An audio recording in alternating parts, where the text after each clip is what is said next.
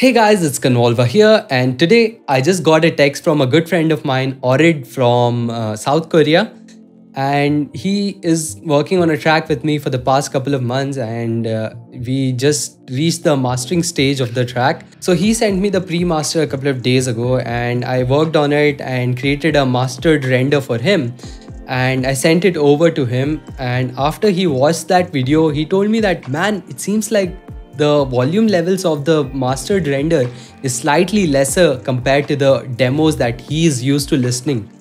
And I realized that it's probably because of the fact that I mastered the tracks considering the volume normalization that websites such as Spotify, Apple Music, YouTube, Deezer, Pandora, and stuff like that have. And I sent him a small video showing how this thing works right now and why I mastered taking these things into consideration. And he said that maybe you should release this on your YouTube channel. And I then realized that uh, last year I released two videos on this on my channel. And then I watched the video just to have a look at what I did last year. And the videos were like 10 minutes long and many things have sort of changed over the couple of months uh, regarding the average LUFS values on certain websites and there is also some new information which I wanted to share with you guys. So here's the video that I shared with Aurede and you guys can have a look at what I was talking about. So yeah, here we go. Hey man, how's it going? So I noticed that you've seen that the loudness level of our track, the mastered version which I sent is much lower than one of Harsh Records tracks. So I just wanted to show you a quick thing why that is. So here's a Harsh Records label on YouTube and I'm just going to open one of their tracks. Nice. So I'm going to make the volume 100% in the slider here and notice what happens when I right click and go into stats for nerds.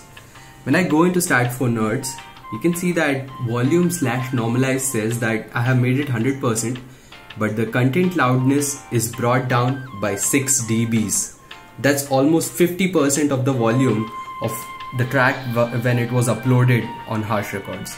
So what this means is YouTube is coming in between and it's actually reducing the volume of the track which was uploaded on their website and this is something which is not just unique to uh, YouTube. This is something which is done by other websites such as Spotify, Deezer, Pandora, Apple Music and all the other streaming websites. And this is to make sure that all the videos all the songs on the platform sound at the same consistent audio level. Now I want to show you something else. Now this is called as loudness penalty analyzer now what happens is if we make sure that the loudness is actually 6 dBs less on an average in a track, then these websites actually don't put this um, volume normalization. The thing with volume normalization is when it reduces your volume by, you know, say suppose 6 dBs or 5 dBs, then it affects the quality of the master. So what happens is there are some artifacts and glitches in the sound which are not really intended by you but they come to place. So let's see what happens when I upload our track here. So I'm going to go into the directory where the master is. This is the master which I sent you and I'm going to upload this here. Now loudness penalty is going to analyze our audio and it's going to tell what the average loudness level is of our track now if you see here, it's saying that YouTube is not going to increase or decrease the volume levels of our track. So it's going to be the same. Spotify is going to bump up the volume by 0.4 dBs. So by making it less, Spotify is actually going to increase the volume. iTunes is going to keep it constant. Amazon Music is going to keep it constant. And if you come here, Deezer is going to reduce it by 0.6 dBs. Okay and what that means for us is that there are no artifacts which are going to come into place you know? And things like um, youtube and spotify and tidal and all these websites are not going to reduce the volume for us which is what we want. Now you might be thinking then well why not make it loud and let them take care of it uh, that is because when they reduce the volume it is going to use an algorithm which they have and that creates some kind of artifacts in the you know music. When we send the track to records or records we are going to send them through soundcloud which does not have any of these volume normalizations.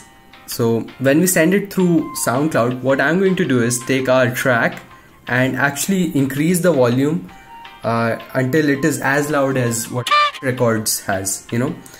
And soundcloud does not apply any volume normalization. So when you download from soundcloud uh, mean, someone from records downloads our music then they will listen to the loudest possible volume. So that is what the goal is. So that's what I wanted to show and it's kind of a confusing topic but I want to explain why I made those decisions. That's that man. I hope I got my message across. If you have any questions then let me know in WhatsApp and we'll take it up from there. Alright man.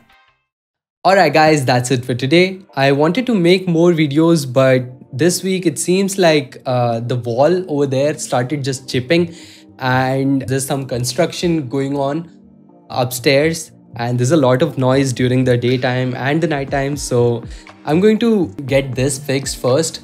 And then after that is fixed uh, I'm going to probably even paint the room a little because this color really does not complement my skin tone. So maybe painting this would, you know, change the feel of the studio a little. So let me know which color I should pick for the walls in the comments. Alright guys, that's it for today. Thanks for watching and if you found this helpful then consider hitting the like and subscribe button.